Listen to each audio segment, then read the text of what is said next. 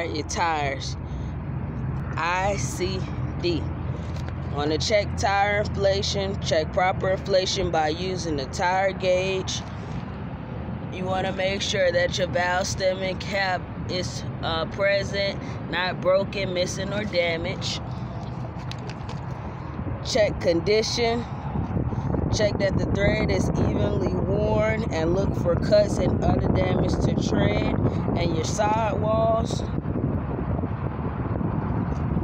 You want to check your tread depth on your front tires. Check for a minimum tread of 430 seconds.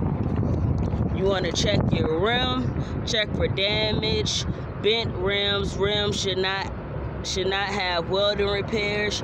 Check for rust trails that may indicate rim is loose from wheel. Lug nuts. Check that all lug nuts are present. Lugs are not loose. Rust trails around nuts. There are no cracks radiating from lug bolt holes or distortion of bolt holes.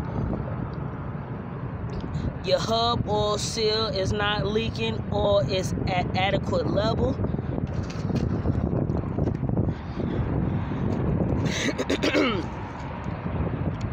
Want to check your mirror brackets and your door hinges.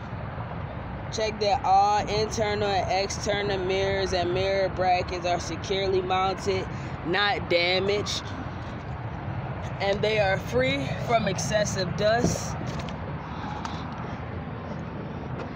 Want to check your door hinges. Doors should open and close properly. Hinges should be secure with their seals intact.